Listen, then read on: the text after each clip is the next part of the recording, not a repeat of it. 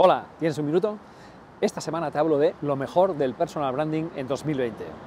Y cierto, ha sido un año un poco peculiar, no vamos a entrar en detalles, pero en personal branding ha habido cosas muy interesantes que he recopilado en este post.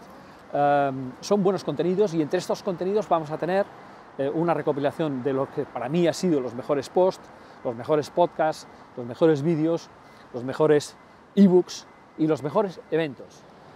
En el post también eh, eh, veréis que estos contenidos de muchísimo valor son gratuitos y os permitirán empezar el año que viene con mejor pie, que todos esperamos que sea un año mucho mejor que este.